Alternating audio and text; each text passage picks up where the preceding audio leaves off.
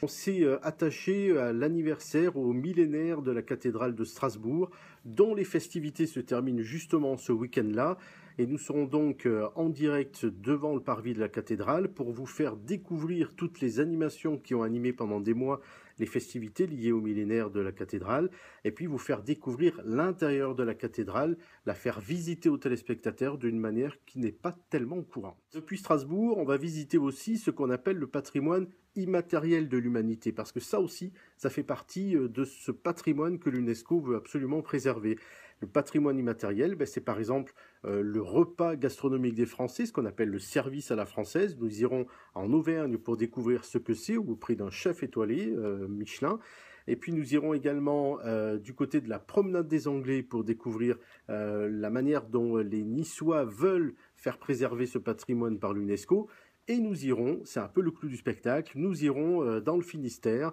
pour découvrir ce que c'est que le Fest-Noz. Parce qu'on ne le sait peut-être pas, mais le Fest-Noz, c'est une fête populaire qui est euh, retenue par l'UNESCO au registre patrimoine mondial de l'humanité, patrimoine immatériel s'il en est, mais patrimoine quand même. Finalement, évidemment que euh,